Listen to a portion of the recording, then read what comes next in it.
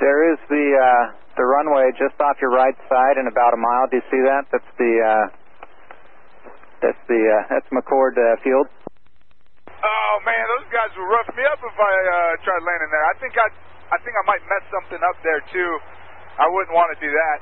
Oh, hopefully. Oh, they probably got anti-aircraft. No, they- they don't have any of that stuff. Uh, we we're just trying to find a place for you to land safely. Yeah, not quite ready to bring it down just yet, but holy smokes, I gotta, I gotta stop looking at the fuel because it's going down quick. Okay, Rich, uh, if you could, if, could you start a left-hand turn, and uh, we'll we'll take you down to the uh, southeast, please. This is probably uh, like jail time for life, huh? I, I I would hope it is for a guy like me.